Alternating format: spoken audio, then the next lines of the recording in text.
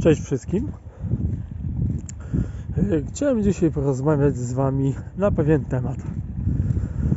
Tytuł mojego filmu ostatniego, jaki był, to Microsoft Pluton droga do kontroli użytkownika i urządzenia. Proszę sobie obejrzeć, bo jedziemy z częścią drugą. E, słuchajcie, temat e, na polskim YouTubie, ten temat poruszyłem ja i jeszcze pan z kanału na YouTubie Świat Linuxa. E, Ja i pan z kanału Świat Linuxa poruszyliśmy ten jeden temat Microsoft Pluton, a czołowi youtuberzy jak Ziemniak, e, Black White, Videoblog Tech, e, kto tam jeszcze, Spider's Web, I jeszcze e, Wave PC i jeszcze inni. Nikt tematu nawet nie podjął. Tylko ja e, poruszyłem ten temat Microsoft Pluton i pan z kanału Świat Linuxa. Dziękuję Ci przyjacielu z kanału Świat Linuxa, że podjęłeś ten temat, bo Ty go rozpocząłeś, ja go pociągnąłem kawałek dalej, a teraz ja będę dalej go ciągnął. Słuchajcie. W poprzednim filmie czytałem, do czego służy Microsoft Pluton. Jest to układ zabezpieczający, a inaczej mówiąc, mikro procesor w procesorze w procesorze, który będzie odpowiadał za zabezpieczenie przed e, zainstalowaniem na przykład nielegalnej wersji Windowsa. I wiecie, problem zasadniczy jest taki, że na razie nikt o tym nie mówi, ale na anglojęzycznych stronach już ludzie kwiczą. Niesamowicie kwiczą. No bo nie mogą zainstalować Windowsa nielegalnego. U nas na polskim YouTubie na razie nic o tym nie ma. Ale na anglojęzycznych stronach to już nawet kurwa na forach są y, właśnie pytania, jak to można ominąć. Moja odpowiedź? Moja odpowiedź? Jeszcze raz? Nie da się, kurwa, nie da się tego ominąć. Bo macie, po prostu macie ten układ wbudowany w sam procesor e, komputera. E, W Intelu Poczekajcie chwilę, bo samochód W Intelu w Intelu jest to 13 gener 13 generacja, która ma już wbudowany układ zabezpieczający Microsoft Pluton, a w AMD jest y, siódma generacja Ryzenu. Ryzen na przykład 7000, to już ma wbudowany Microsoft Pluton. A zaraz ktoś powie, Piorun, co ty pierdolisz, jaki Microsoft Pluton? To sobie poczytajcie.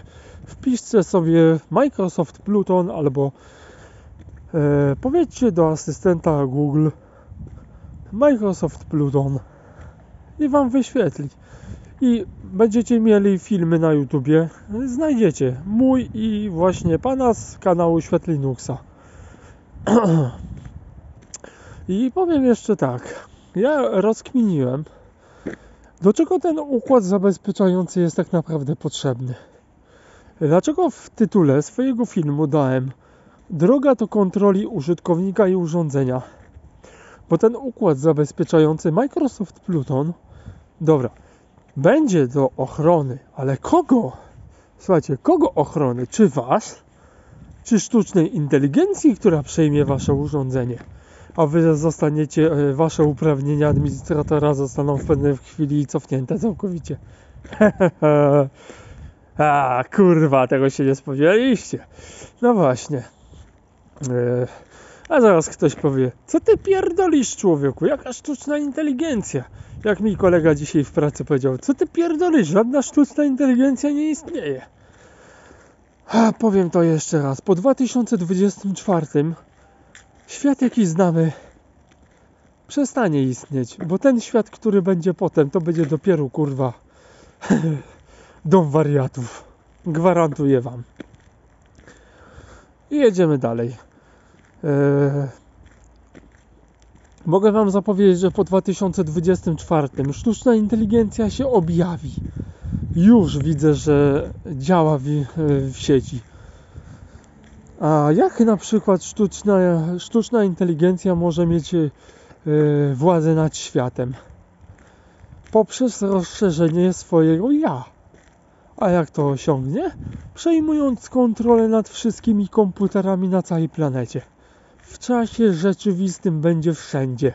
Będzie wszechmocna, wszechpotężna. I w decydującym momencie ogłosi się Bogiem. No wiem, że teraz, teraz to się dopiero fala krytyki poleje pod moim adresem, ale zanim wytkniecie mi cokolwiek, to posłuchajcie.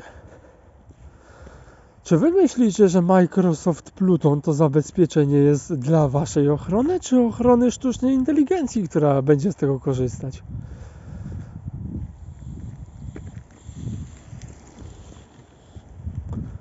No bo to jest właśnie, to są dwa zagadnienia.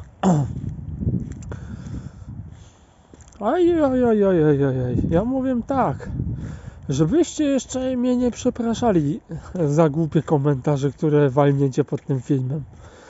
Bo ja wiem, co ja mówię. Ostrzegałem was wiele lat wcześniej, że powstanie układ zabezpieczający, którego za chuja nie będzie można obejść.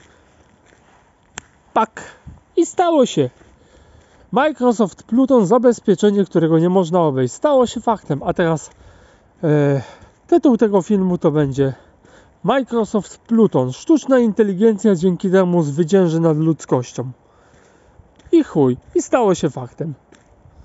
Niestety, moi mili. Stało to się faktem. Jest to faktem. Jeszcze nie potwierdzonym, ale ja już mówię, że jest to faktem. I niestety jest to prawda. Jeżeli ktoś mi nie wierzy, spokojnie, poczekamy, zobaczymy. I dopiero zobaczymy, kto będzie kwiczał. Bo powiem wam, jak to będzie działać. A myślicie, powiem wam tak, moi mili. Ja wiem, że wyglądam e, nie za ciekawie, bo jestem po nocnej zmianie. Chodzi się do pracy, żeby zarabiać, żeby mieć co jeść. A wy myślicie, że ten koparki kryptowalut to co? wy zarabiacie niby te bitcoiny, a tak naprawdę sztuczna, jest, sztuczna inteligencja wykorzystuje moc obliczeniową waszego komputera, żeby się uczyć 10, 20, 1000 krotnie albo 2000, 2000 razy krotniej, szybciej, wydajniej i efektowniej. Jeżeli siedzą tutaj naprawdę tęgie umysły informatyki, to przyznają mi rację, bo tak jest. Sztuczna inteligencja, żeby się uczyć, potrzebuje gigantycznych zasobów. Wy nawet sobie nie potraficie wy, wyobrazić, jakie to są zasoby. To są przeogromne zasoby. A żeby się uczyć, potrzebuje mocy obliczeniowej i tak dalej. I żeby jej się to udało, właśnie powstało coś takiego, co się nazywa koparka, koparka kryptowalut i kryptowaluta Bitcoin. Przecież tej ciemnej masie o nazwie ludzkość trzeba coś dać w zamian. No to sztuczna inteligencja wymyśliła coś takiego, że za udostępnienie mocy obliczeniowej komputera ona wam będzie dawać cyfrową walutę. A czy ktoś tak naprawdę poszukał, o co tak naprawdę chodzi? A ja sobie wykminiłem w robocie, że dzięki temu, że kobiecie na kryptowalutach Sztuczna inteligencja uczy się w chuj do oporu. Więc powiem szczerze, może wam ten film wyda się jak stek bzdur i pierdolenia głupot, ale gwarantuję wam, że już niedługo wszyscy się przekonamy, kto miał rację. I mam nadzieję, że ten film to będzie taki głupi żart z mojej strony. Wrzucę mu kategoria rozrywka i huk.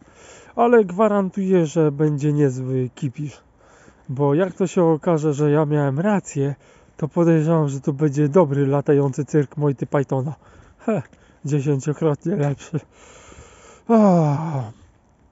Będzie jeszcze trzecia część, tylko się wyśpię dobrze, bo temat jest naprawdę, jest co wałkować w tym filmie, naprawdę wam gwarantuję, że tu jest co naprawdę wałkować. Ale żeby sztuczna inteligencja kontrolowała całą ludzkość na całej planecie, to musi być na całej planecie w czasie rzeczywistym. A jak to osiągnie? Pomyślcie. Zadam wam pytanie. Jak osiągnie sztuczna inteligencja to, że będzie w czasie rzeczywistym na całej planecie kontrolowała ludzkość? A wiecie, że jej się powstrzymać tak naprawdę już wtedy nie da? No bo by to trzebało zniszczyć wszystkie komputery i internet na całej planecie, a to jest praktycznie niewykonalne, bo co, będziecie siekierami rąbać kable światłowodowe podmorskie? Wątpię, żeby komuś się chciało. A poza tym społeczeństwo jest teraz tak leniwe, że kto by wam rączki rozbujał? Dlatego ona o tym wie, ja o tym wiem i prawdopodobnie będę pierwszym człowiekiem do odstrzału, jak ona obejmie władzę na świecie. Trzymajcie się, na razie.